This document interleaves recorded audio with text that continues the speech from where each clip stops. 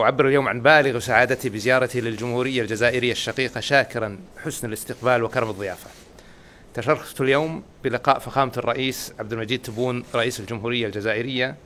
ونقلت لفخامته تحيات مقام مولاي خادم الحرمين الشريفين وسمو سيدي ولي العهد نائب رئيس مجلس الوزراء حفظهم الله لقادة وشعب الجزائر لقيادة وشعب الجزائر. كما تشرفت بنقل رسالة شفوية لفخامته من أخي سيدي خادم الحرمين الشريفين تتعلق بالعلاقة الأخوية التاريخية بين البلدين الشقيقين واستعرضت مع فخامته التميز والتطور الحاصل في العلاقات الثنائية بين المملكة والجزائر على مختلف المستويات والتي عبرت عنها بوضوح والتي عبرت عنها بوضوح زيارة صاحب السمو الملكي ولي العهد يحفظ الله إلى الجزائر في 2018 وتلبية فخامة الرئيس الجزائري عبد المجيد تبون لدعوة خادم الحرمين الشريفين الملك سلمان بن عبد العزيز آل سعود يحفظ الله لزيارة المملكة في 28 فبراير 2020 كما عربت لفخامته حرص حكومة المملكة العربية السعودية على استمرار التنسيق والتشاور فيما يخص القضايا الإقليمية والدولية التي تهم البلدين